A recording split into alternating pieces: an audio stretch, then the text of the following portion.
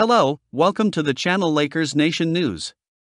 The Lakers beat the Spurs by 9 points, 113 to 104, on Wednesday night in Los Angeles. The victory was marked by the return of Anthony Davis to the team and the debut of Rui Hachimura, newly hired.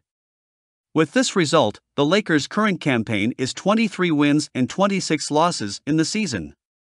Take the opportunity to leave your like, subscribe to the channel, and activate the bell to be notified whenever you have news from your team.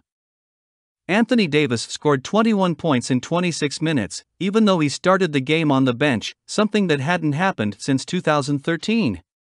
Patrick Beverley was another highlight of the match, with 18 points and taking advantage of 50% of his shots. LeBron James also had a good performance, getting close to a triple double with 20 points, 9 rebounds, and 11 assists. Despite this, the Lakers team looked unbalanced, with the offense working better, but the defense looking confused.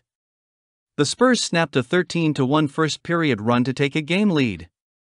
With just over 4 minutes left, Davis finally made his comeback and Hachimura made his debut.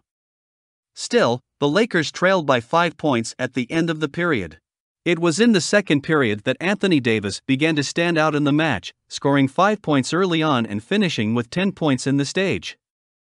Meanwhile, Rui Hachimura scored his first basket with the Lakers shirt and the team went to the break applying a 7-0 sequence on the Spurs, but losing by 53 54. In the second half, Pat Beverley led the Lakers, doing everything on the court. He hit threes, grabbed rebounds, and found his teammates free to kill some balls.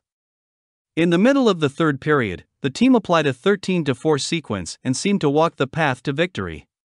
However, the Lakers have a reputation for being unpredictable and anything can happen.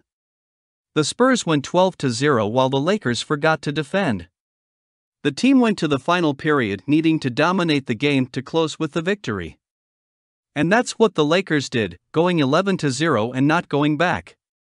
With three point balls from LeBron and Christie, a dunk from Bryant, the Lakers had a good final period and won the stage by 32 22, guaranteeing their 23rd victory in the current season.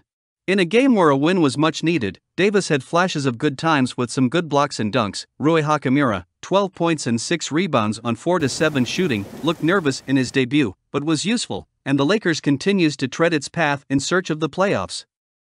Now, the team has two days of rest before starting their road game against the Celtics on Saturday.